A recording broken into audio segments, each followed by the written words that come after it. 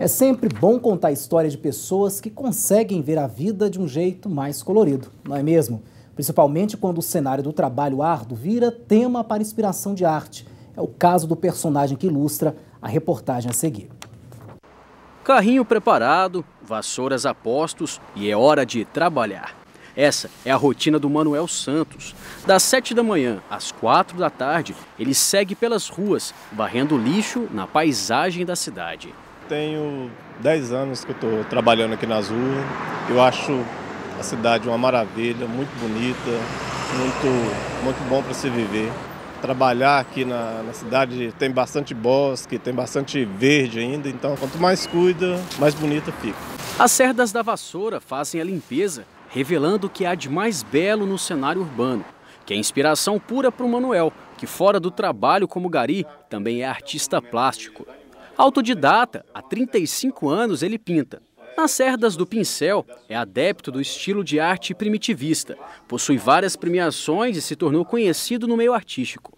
Talento que foi aperfeiçoando com o tempo, na curiosidade de observar renomados artistas aos sete anos de idade. Sempre vendo, na época, televisões, reportagens de grandes artistas, Pablo Picasso, Henri Rousseau é, Monet. Então, assim, aquilo me despertava. Eu falei, eu, eu quero ser artista. Daí, então, fui procurando colegas, quem desenhava, fui fazendo aquele grupo de amizades, né? Cores, animais, cidade grande, estes são elementos característicos das obras do pintor. Uma de suas telas recentemente foi selecionada para a primeira Bienal de Arte na IF, que acontece em São Paulo a partir de setembro. Uma exposição voltada para a criação primitiva, espontânea. Eu mandei lá um, a minha imagem, né, do, a imagem que eu fiz, de um boizinho tocando violão. Eu achei assim, um, uma coisa maravilhosa de ter sido selecionado né, com essa obra. E agora estou lá no meio dos, dos grandes, dos daqui e dos de fora. O filho dele, o Richard, fala do pai com muito orgulho e para ele é um exemplo de inspiração. Acompanhando meu pai nesse trabalho desde pequeno só me trouxe benefícios, né? Não, não financeiros, não, é, como é que eu digo, não, não benefícios é, é de, de interesse, mas benefícios mesmo para a arte, para mim aprender, para o meu aprendizado, para o meu desenvolvimento, o meu crescimento.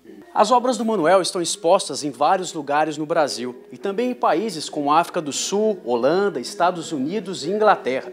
E agora ele trabalha numa série específica de 16 telas, chamada Brincadeiras da Minha Infância. Uma forma de relembrar a alegria, a saúde e a liberdade de ser criança.